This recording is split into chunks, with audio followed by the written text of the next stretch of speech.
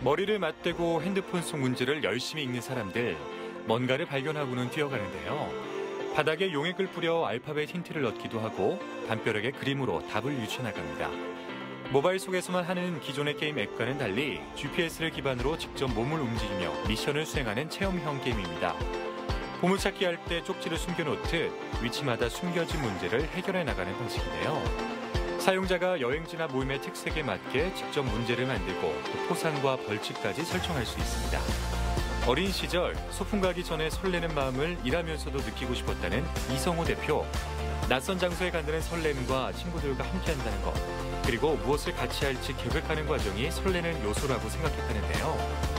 이 모든 걸 앱으로 구현해 어린아이뿐만 아니라 어른들도 쉽게 즐길 수 있도록 만들게 됐다고 합니다. 현재는 회사 워크숍에서 가장 많이 이용되고 있다고 하는데요.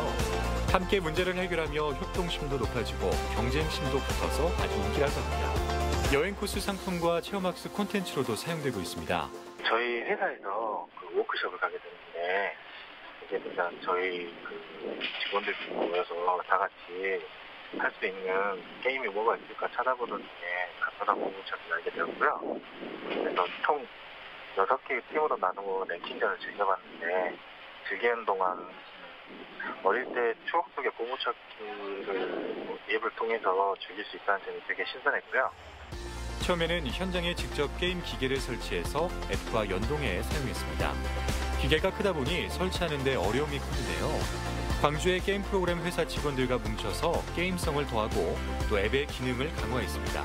저희 어플을 모든 각 세계에 있는 모든 곳곳에 있는 나라에 있는 사용자들이 어플을 써서 어떤 이벤트 때 필수적인 소프트웨어로 또 꼭 지참해야 될 소프트웨어로 좀 어필을 해서 어떤 그 이벤트에 재미나는 어떤 게임으로 또 친목을 도모할 수 있는 어떤 그런 프로그램으로 자리 잡아서 최근엔 영어권 30개국의 앱을 내보내서 세계로 도약해 나가고 있다는데요. 중국과 일본 시장에도 진출하기 위해 준비하고 있다고 합니다. 국내뿐만 아니라 세계 지도까지 장악하는 게 목표라는데요.